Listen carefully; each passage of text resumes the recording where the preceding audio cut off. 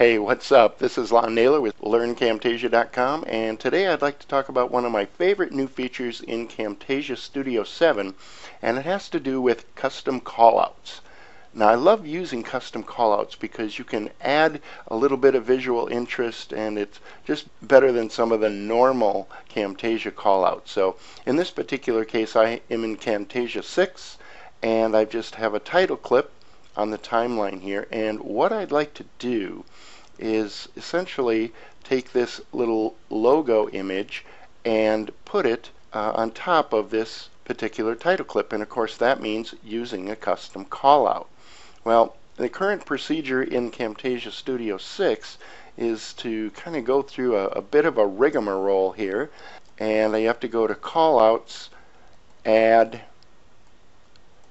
custom callout, then I have to navigate to the point where the callout that I want to have is.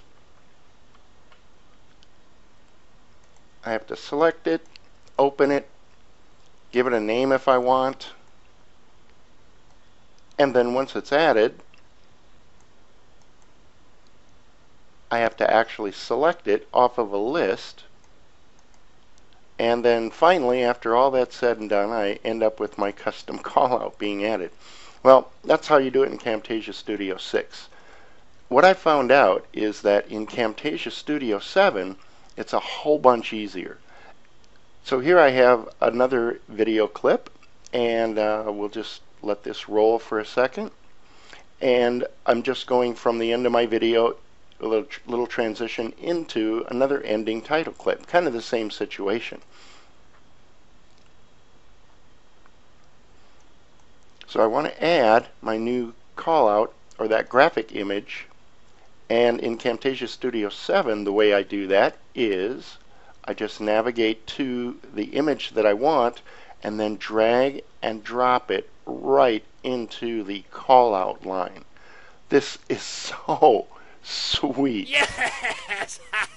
and at this point I can add any effects or anything else that I want to do to the callout and now I'm ready to go. Let's run that. So much easier. This lets you really start to get into using some cool custom images and just dropping these kinds of elements right into your video and using them right away, including all of the effects that they can provide you with. And it gets even a little sweeter than that because I can right click from here and add this to my library so that at that point, it's then always available to me as a normal custom callout, just like we're used to. So that's it for today. A sweet little tip that, by the way, I couldn't find this documented anywhere in any of the features or things that Camtasia or, or TechSmith talks about. And I tell you what, this is one of my favorite, favorite time-saving tips in Camtasia Studio 7. So thanks for watching. And remember, friends don't let friends make crappy videos.